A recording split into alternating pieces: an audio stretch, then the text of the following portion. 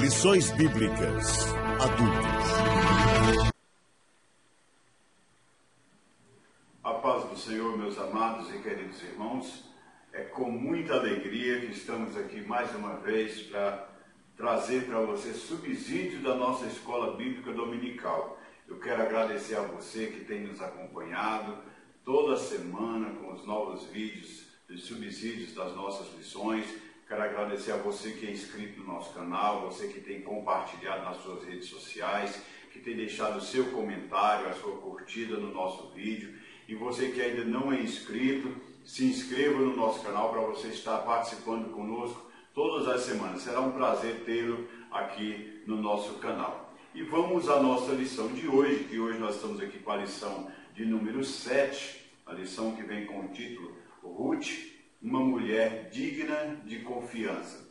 Sabemos, meus queridos, que o livro de Ruth é considerado uma das mais belas peças literárias do Antigo Testamento. Nele está registrada a, genealogia do rei Davi, que se tornou, é, por desígnio de Deus, o ancestral mais importante da genealogia de Jesus Cristo, o nosso Messias e Salvador do mundo. A história de Ruth, ela desenrola nos dias em que os juízes estavam julgando a terra e por permissão de Deus houve uma grande fome em Israel, provavelmente por castigo pela desobediência do povo. E uma família de Belém, cujo líder era Elimeleque, teve de deixar a sua terra para ir é, em busca de sobrevivência na região de Moabe acompanhado de Noemi, sua esposa, seus dois filhos Malom e Quilion, Elimeleque estabeleceu-se nos campos de Moabe. Ali morreu o pai daquela família e mais tarde os seus dois filhos casaram-se com mulheres daquela terra, se adaptaram ali, e Malom casou-se com Ruth e Quilion casou-se com Orfa. Ambos também morreram posteriormente, completando o ciclo da morte na família. E Noemi e suas duas noras ficaram viúvas e desamparadas. No tempo estabelecido por Deus, Noemi volta a Belém, após a bênção de Deus ter vindo é, sobre ela naquela terra, acompanhada apenas de sua nora Ruth, visto que a outra optou-se em retornar à casa de seus pais. Então é aí que está o desenrolar da história do livro de Ruth. Pois bem, vamos ver um pouquinho do resumo da origem de Ruth. Primeiro, uma estrangeira. Nesse estudo, meus queridos, nós refletimos ou refletiremos sobre o caráter de uma mulher que se destacou de forma marcante e muito significativa na história de Israel. Não foi por acaso que a sua história mereceu ser organizada em um livro que foi aceito como parte integrante do canon do Antigo Testamento. Sua identidade mostra-nos que ela era moabita, oriunda da terra de Moab. Essa condição é, moabita, estrangeira, por motivos históricos e raciais, não lhe favorecia em termos de relacionamento com o povo de Israel. E o nome Moab aparece lá em Gênesis, no capítulo 19, versículo 30 a 38, como o filho de Ló, numa relação incestuosa com a sua filha mais velha, que se tornou pai dos Moabitas. Assim como Israel, Moab era um povo semita e Ruth pertencia a esse povo. Certamente a sua genealogia era vista de forma negativa pelos israelitas, mas um episódio que é, tornou os moabitas adversários de Israel ocorreu quando o povo hebreu se deslocava em direção a Canaã e por razões geográficas o povo de Israel precisava passar pelo território do deserto de Moabe sob a liderança de Moisés.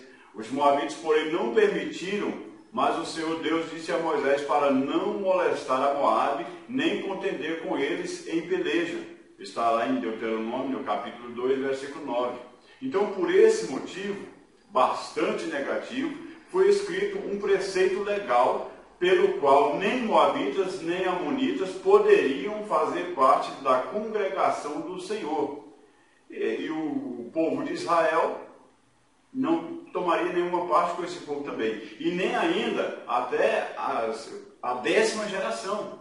Então, é, havia essa intriga, essa animosidade entre os dois povos. E isso foi agravado também por outro episódio bíblico. É, os moabitas alugaram o profeta Balaão para amaldiçoar Israel, mas ele não conseguiu, porque Deus transformou a maldição em bênção. Então, essa é a origem é, da etnia né, de Ruth, a origem de Ruth.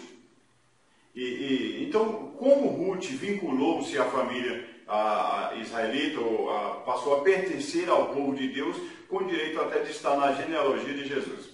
Então, como já foi dito, Deus não escreve certo por linhas tortas, como diz o ditado popular. Ele escreve perfeito e divinamente certo por suas próprias linhas.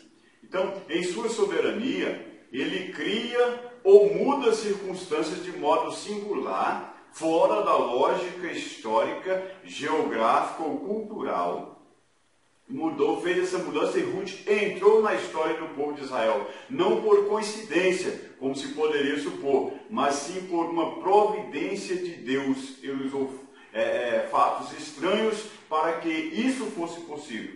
O Senhor é, age como quer. Às vezes ele age é, aparentemente contrariando os seus próprios critérios, mas só de modo aparente. Diz o salmista que é, é, o nosso Deus está nos céus e faz tudo o que ele apraz. Então, uma família judaica teve que sair de Belém para escapar da seca que assolava a região. Eram eles Elimelech, é, o líder, Noemi, sua esposa, Malom e Quilion, os dois filhos do casal. Eles imigraram para a terra de Moab, pois lá a estiagem não tinha chegado e havia alimento. E ali viveram durante quase 10 anos. Não padeceram fome, mas sofreram as agruras de uma vida atribulada. É, maus dias alcançaram a família naquele lugar. Aí o patriarca Elimelech faleceu. Os dois filhos adaptaram-se ao lugar, ao, seu, ao povo do local. É, e então foi, foi algo muito estranho, por exemplo, uma seca, três óbitos mudaram é, as histórias dessas pessoas. E aí então vamos focar novamente em direção à terra de Judá. A mão de Deus move-se de um lado para o outro conforme a sua santa e soberana vontade.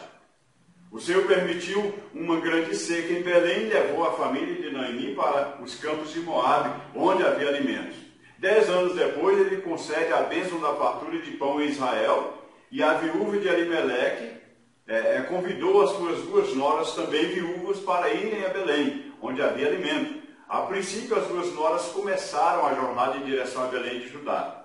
Mas Noemi, sem dúvida, pensando no futuro, no bem-estar delas, deteve-se e, e sugeriu às duas que retornassem à casa das suas respectivas mães desejando de coração que o Senhor usasse de benevolência com elas, assim como usaram é, com Noemi e com os falecidos. E, e ela deu essa sugestão com muita sinceridade e desprendimento. E ela, ela disse assim: é, O Senhor vos dê que acheis descanso cada um em sua casa, na casa de seu marido. E beijando-as, ela levantou a sua voz e chorou. Nessa atitude, vemos é, um traço valioso do caráter de Noemi. Ela preferia, preferia é, viver a solidão em sua terra do que ver as suas noras sofrerem ao, ao seu lado. Ela imaginava que em Israel elas talvez tivessem é, a dificuldade de serem bem aceitas, tornando é, talvez quase impossível conseguir outro casamento. Era a visão humana, a lógica amorosa e sincera, mas os planos de Deus eram outros em relação a Ruth. Os planos de Deus estão muito acima do que podemos imaginar. A Bíblia diz que nós cristãos não devemos buscar só o nosso proveito, mas também o dos outros. É nosso dever cultivar o altruísmo em lugar do egoísmo. Noemi semeou amor, plantou o altruísmo, mais tarde colheu os resultados. Então, ela, ela teve cuidado com Ruth e também foi cuidada. Né? Noemi teve um cuidado muito especial com Ruth, porque Ruth era uma moça de caráter. Vamos analisar um pouquinho o caráter de Ruth, um caráter amoroso e confiante. Em sua decisão é, de prosseguir na companhia de sua sogra, no seu retorno a Belém, Ruth demonstrou que tinha um verdadeiro amor por Noemi, além de plena confiança em sua pessoa. No tempo em que viveu com Malom, o falecido esposo, Ruth viu em Noemi um exemplo de vida, não apenas como sogra, mãe e esposa, mas também como serva de Deus. Enquanto sua cunhada beijou a sogra e retornou à família, Ruth beijou-a, chorou e colocou em seu coração é, ficou confiante, agradecida e tomou a, a, decisão de ficar ao lado da sogra. Ruth disse: Não me instes para que te deixe, para que me afaste de ti, porque onde quer que fores, irei eu, e onde quer que pousares, ali pousarei eu. Essa foi uma declaração notável de amizade que se fundava no amor, na confiança e no respeito. De um lado vemos uma sogra, mulher de Deus, que em meio à amargura e o sofrimento tinha zelo e cuidado por sua nora, viúva como ela. De outro lado, vemos o cuidado e zelo e amor de Ruth por Noemi, pensando em sua situação de mulher viúva, desamparada, que voltava para a sua terra sozinha. Como uma verdadeira serva de Deus, Ruth demonstrou ter um caráter agradecido, generoso. Ela tomou a decisão consciente é, dos possíveis dissabores que poderia enfrentar ao lado de Noemi. Ela estaria ao seu lado em qualquer lugar e em qualquer circunstância. Ela tinha realmente um caráter fortalecido na fé em Deus. Por sua origem, Ruth era de uma família que adorava outros deuses é, quando se casou com Malom. Porém, ao conviver com Noemi, recebeu dela a mensagem do Deus de Israel com toda a certeza ela foi convertida à lei do Senhor. Em sua declaração de amor a Noemi, ela diz com toda a convicção: O teu povo é o meu povo e o teu Deus é o meu Deus. Então, essa decisão mostra a sua fé em Deus. Ruth não tinha a menor ideia do que poderia acontecer com ela em sua caminhada em direção a Belém, nem o que ocorreria quando ela ali é, estivesse vivendo com a sogra. Se pensasse com base na lógica e nas circunstâncias, ela teria motivos para voltar atrás e seguir o exemplo da cunhada, mas Ruth deu exemplo que é ter fé, como diz a palavra do Senhor. Sem a fé, melhor dizendo, a fé é o firme fundamento das coisas que se espera e prova das, das que não se veem. E sem fé é impossível agradar a Deus. E Ruth conseguiu agradar ao Senhor. Ruth ficou ao lado de Noemi como um vento invisível sob a mão de Deus. Ela também tinha um caráter decidido e firme. As suas atitudes demonstravam não ser apenas uma expressão de impulso emocional, muito comum em meio a situações críticas, além de, de demonstrar que tinha fé em Deus e também confiança em Noemi, Ruth expressou a sua inabalável convicção de que valeria a pena enfrentar as circunstâncias, quaisquer que fossem elas, mesmo tudo parecendo incerto e nebuloso, por isso ela completou diante da sua sogra, amiga, irmã de fé, a sua decisão consciente. Onde quer que morreres, ali morrerei eu, e ali serei sepultada.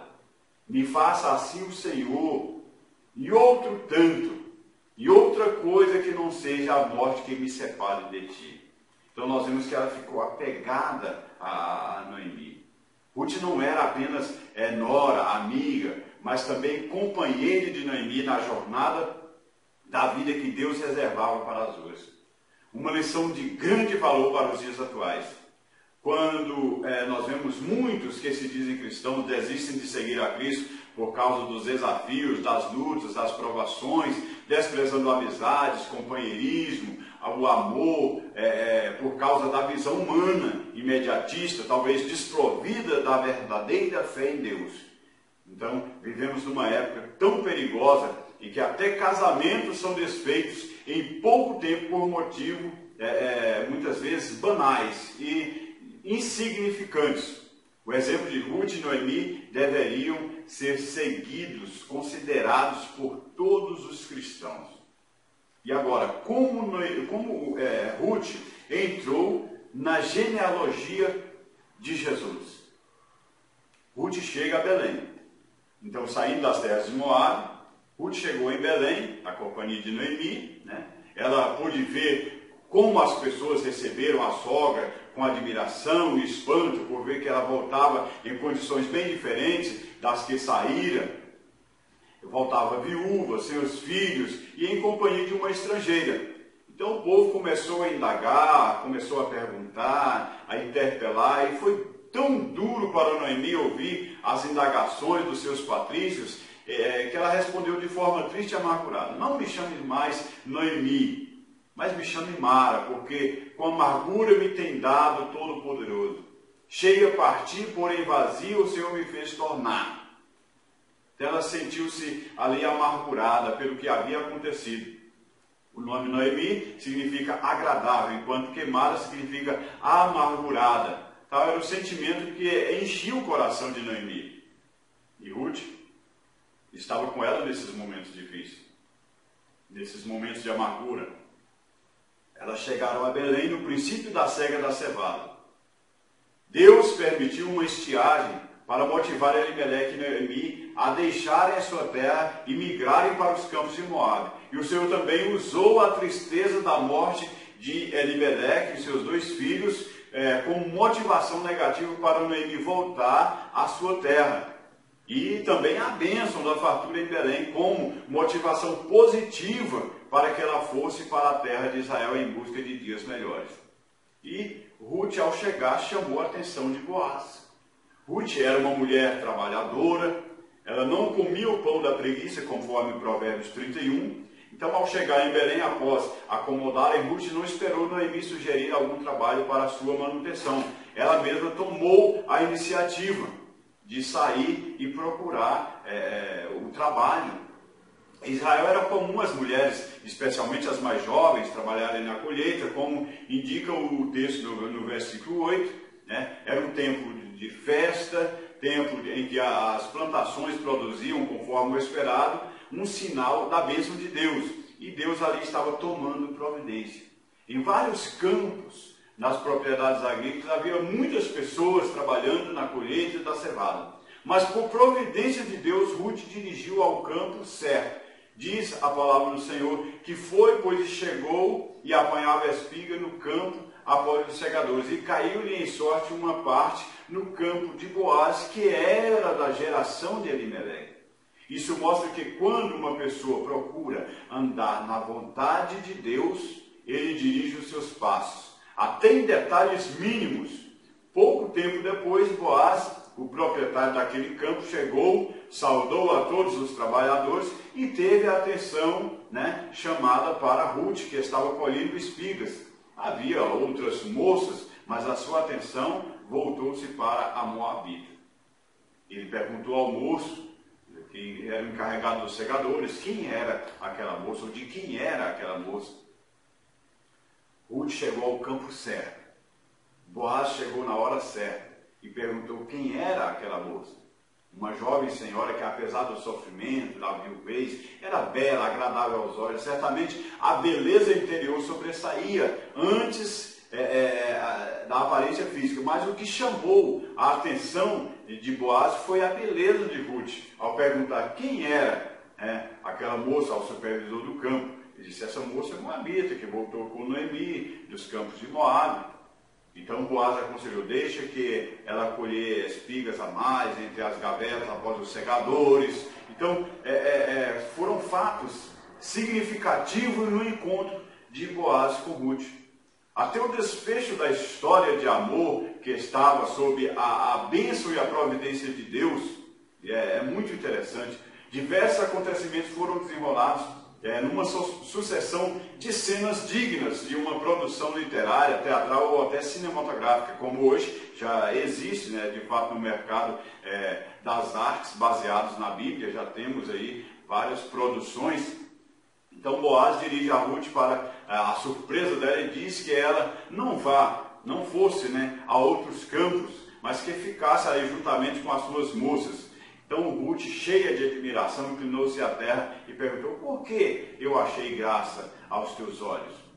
Para que faças caso de mim, sendo eu uma estrangeira. Então Boaz respondeu que ele soubera o quanto Ruth fora generosa com Noemi, a sua sogra, depois da morte do seu esposo, e como ela deixara a casa de seu pai, a terra onde nascera e vivera, é, abrigar-se a um povo né, que não conhecia, e fez a ela uma declaração profética.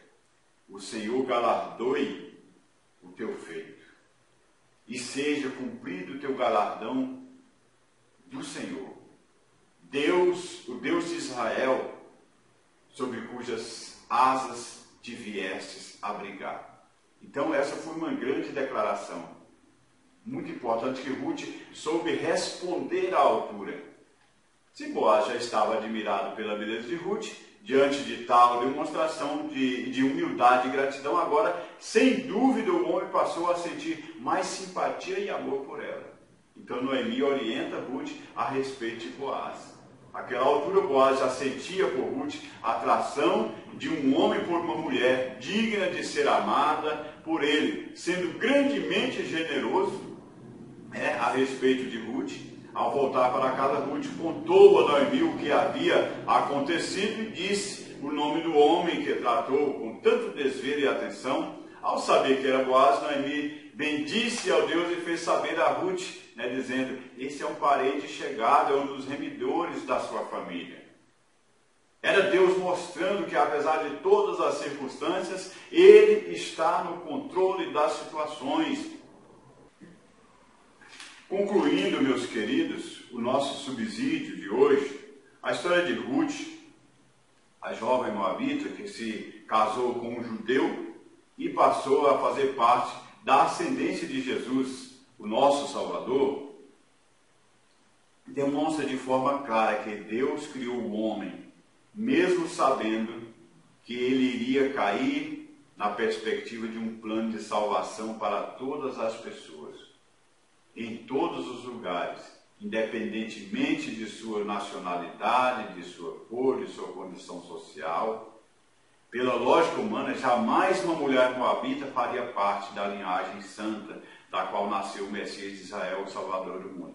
O amor de Deus está além de toda a compreensão limitada do homem. Então nós vemos aqui Ruth uma mulher realmente destacável, respeitada, de um grande caráter, um grande exemplo para nós. Que Deus abençoe de uma forma muito especial a sua vida, em nome de Jesus. Espero poder ter contribuído com você também nesta lição sobre Ruth.